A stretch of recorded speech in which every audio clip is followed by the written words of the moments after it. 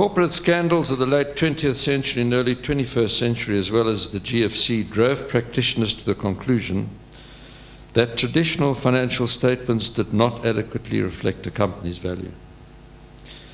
This is evidenced by analysis of companies listed on the great stock exchanges of the world, where the analyses found that sometimes up to 20% of the market value was made up of additives which would be included in a balance sheet according to financial reporting standards, but 80% was not being reported on. To be accountable and transparent, that which we report needs to be understandable. To report in an incomprehensible manner to 99.9% of users of an annual report results in knowledge being lost in a mass of information.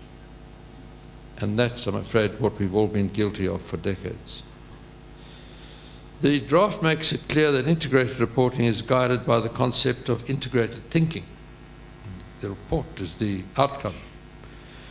Integrated thinking is the act of consideration by an organization of the relationship between its various operating and functional units and what we call the six capitals. Some people refer to them as the resources.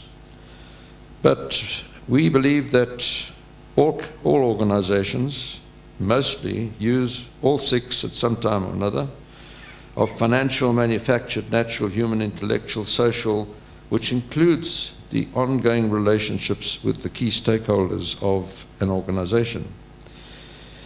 Integrated thinking leads to integrated decision making and actions that consider the creation of value over the short, medium, and long term.